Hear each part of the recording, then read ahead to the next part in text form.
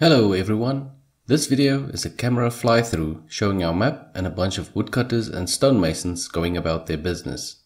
There's still a lot to be done, but today I found myself quite excited about how far this project has come since the end of last year. Since the last video I added some fences, completed the stonecutters extended yard and added my day-night script to the project. So you will see the shadows getting shorter initially, much brighter light at noon, and shadows lengthen again in the evening.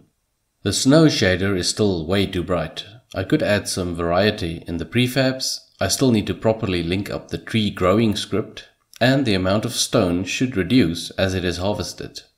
And there's so much more I'm burning to add on. But seeing so many factors already playing out together after such a relatively short time, I just wanted to share it with someone. So I'll play some music in the background and just let the scene play through until sunset. Goodbye until the next one.